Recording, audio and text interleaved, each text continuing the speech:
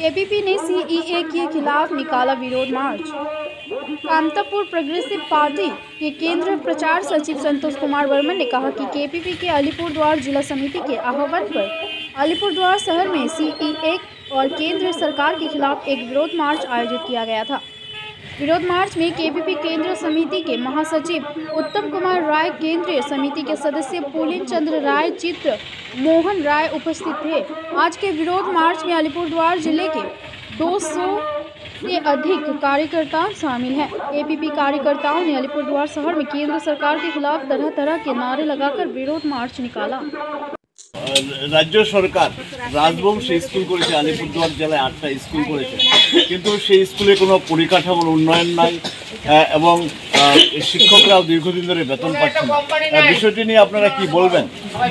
এখন ভোটের মুখে রাজ্য সরকার অনেক প্রতিশ্রুতি দিয়েছে, অনেক কিছু করার যে চিন্তা ভাবনা রাখছে, সেটাকে আমরা স্বাগতম জানাচ্ছি। কিন্তু আমরা চাই সার্বিকভাবে সারা উত্তরবঙ্গে কামতাপুরি ভাষার স্কুল চালু করা হোক আমাদের ছাওয়া ছোটকে পড়াশোনার ব্যবস্থা করার যাতে উপযুক্ত পরিকাঠামো তৈরি করা হয়, তা না হলে আমরা ভাববো ভোটের মুখে এটা শুধু ললিপপ, আমাদের ভোট লুট করার একটা। যেভাবে বিজেপি আমাকে প্রতারণা করতেছে, ঠিক তেমনভাবেই টিএমসিও আমাদের লোককে ব্যবহার করতেছে। কিন্তু যে আটটা স্কুল করেছে, তাতে তো কিছুই নেই স্কুলে বিল্ডিংও নেই ছাত্রছাত্রীদের বসার জায়গা নেই শিক্ষকরা বেতন পাচ্ছে না কি বলবেন? এখন আটটা করছে না কয়টা করছে আলিপুর দুয়ারে এটা আমাদের জানা নাই। আমরা পরবর্তী পর্যায়ে হয়তো এটা দেখব খতিয়ে দেখব কি হতেছে ব্যবস্থাটা কি হতেছে কিন্তু আলিপুরদুয়ারে আটটা স্কুল হয়েছে যেটা আমরা জানতে পারছি শিক্ষকরা বেতনও পাচ্ছে না এবং দীর্ঘদিন ধরে সমস্যায় দিন কাটাচ্ছে।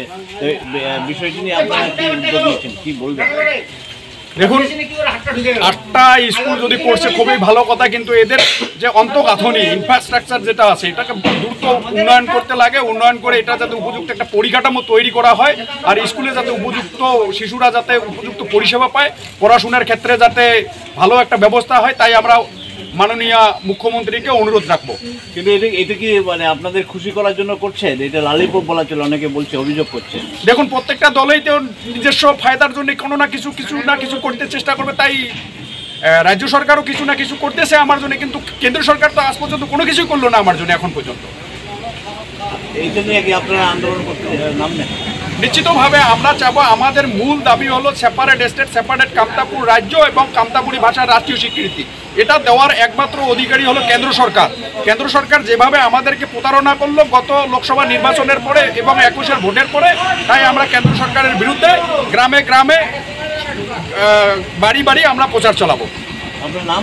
উত্তম কুমারের general secretary Kamtapuri progressive party.